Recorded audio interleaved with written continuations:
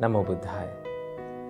Dear meritorious devotees and my dear children, throughout the day, we think thousands and millions of thoughts.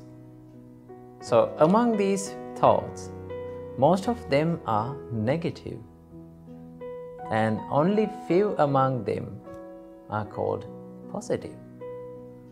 So, that is the nature of our mind that it is always tends to the negative side, to the dark side.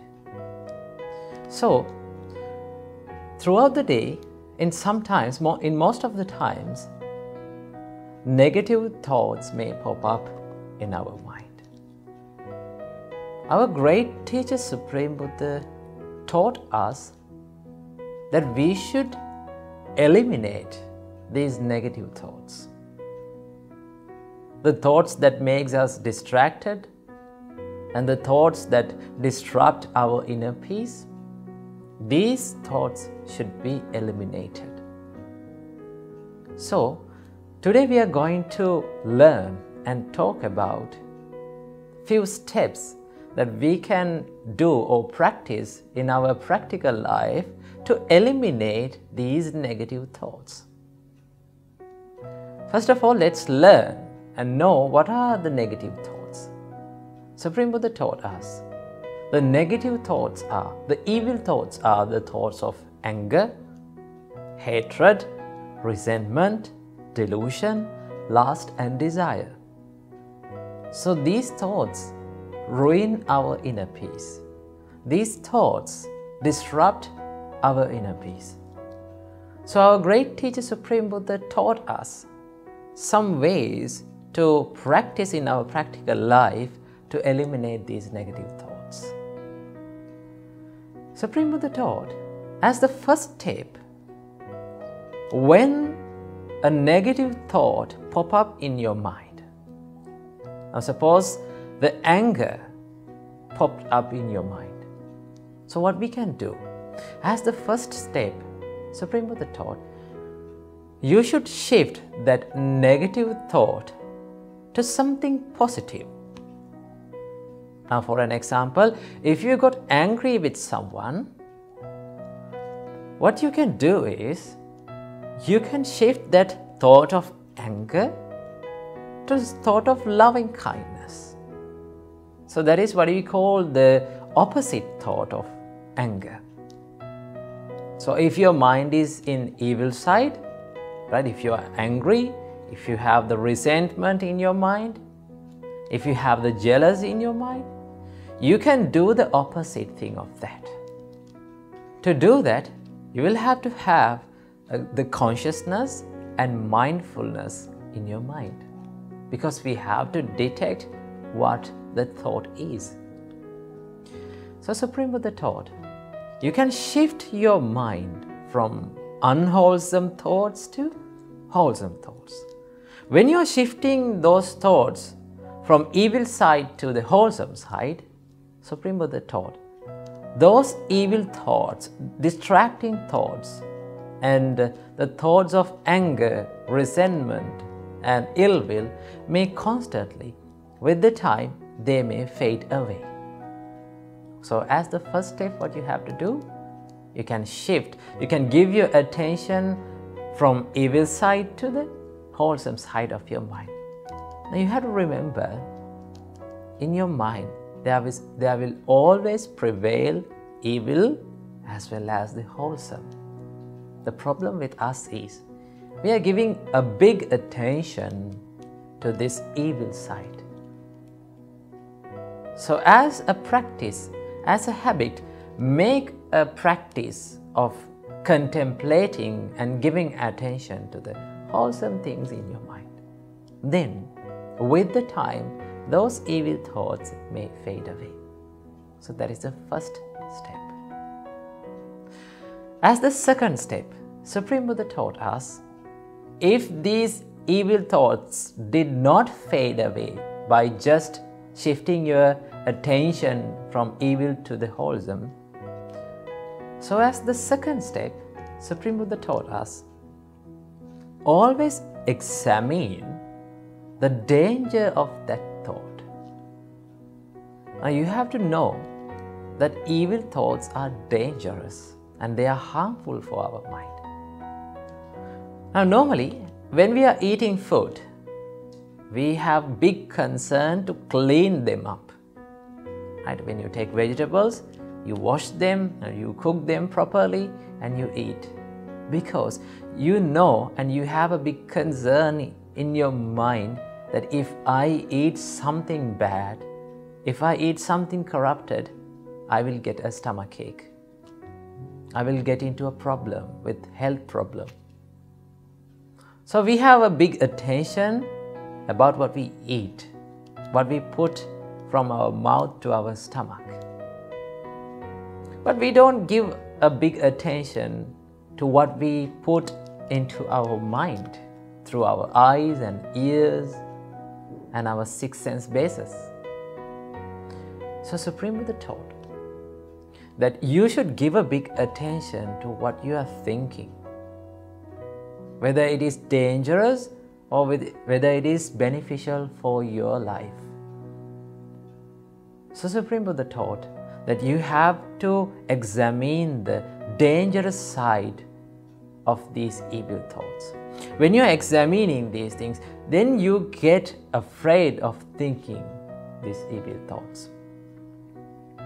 Now, suppose whenever you get angry, if you can think, oh, this anger is not good for me. If I died when I'm in anger, I will never get a good rebirth. Supreme Buddha explained us if you died in anger, you will never have a good rebirth. So, Supreme Buddha taught that you should examine this danger. Always remember the evil thoughts, thought of, thoughts of anger, resentment, jealous, lust, hatred, all these evil thoughts are harmful for our mind. Now, stomach ache, when you eat something corrupted, when you eat something rotten, it can be cured by just taking medicines. But if you, if you put something into your mind that is corrupted, that corrupted mind cannot be cured easily. So examine the dangerous side. That is the second step that we can do. As the third step, Supreme Buddha advised us there are some powerful evil thoughts that may not fade away by just examining the dangerous side of these thoughts. So, what you have to do, as the third step, Supreme Buddha taught, just ignore them. Do not, do not give a big attention to those thoughts. If we let the thoughts to be thoughts, then by the time that thoughts may, that evil thoughts may fade away. So what we have to do, when an evil thought comes into your mind, just ignore it. Don't let it control yourself.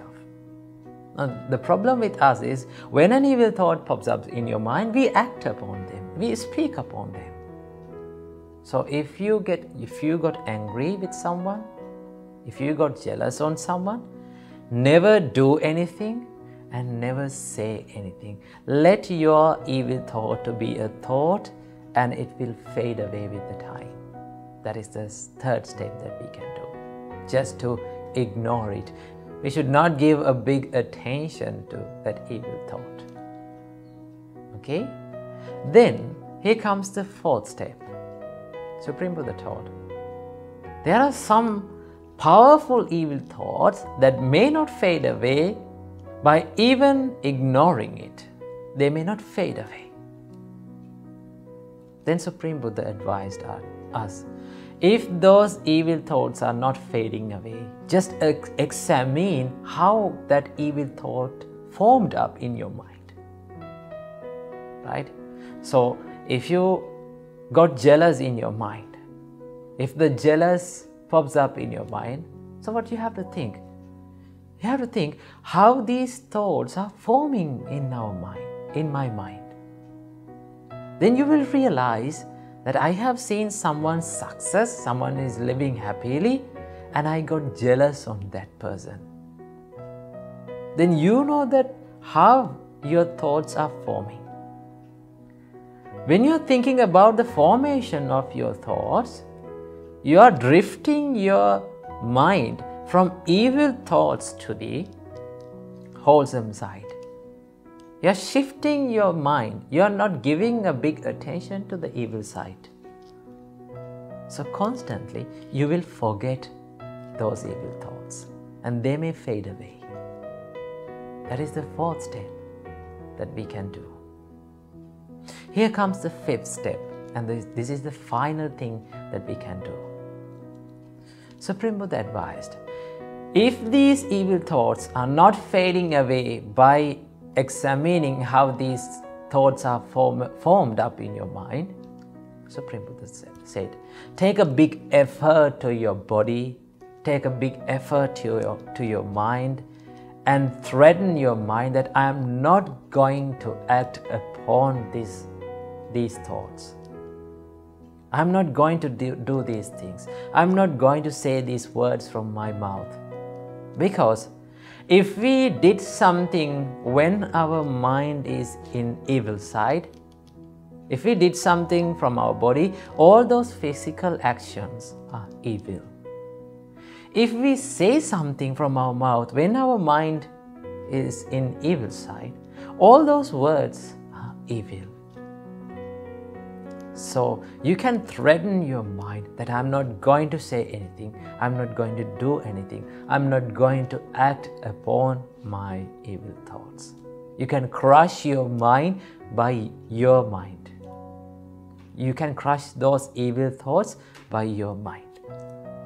So Supreme Buddha said, that is the final protocol that we can do. If you constantly practice these five steps, then you will have the opportunity to develop wholesome thoughts, develop wholesome qualities within your mind because that will make a habit. Now, normally, we have made a habit of practicing and thinking evil thoughts. So, if you are shifting your evil thoughts to the wholesome thoughts, then that will make a habit of wholesome thoughts. And finally, one day you will have, you will feel that you are thinking only wholesome thoughts throughout the day. So I wish you all, by practicing these five advices that was given by our great teacher Supreme Buddha, may all of you have the opportunity to develop wholesome practices and wholesome qualities and generate wholesome thoughts throughout the day. නමෝ බුද්ධාය තෙරුවන් සරණයි. Thank you.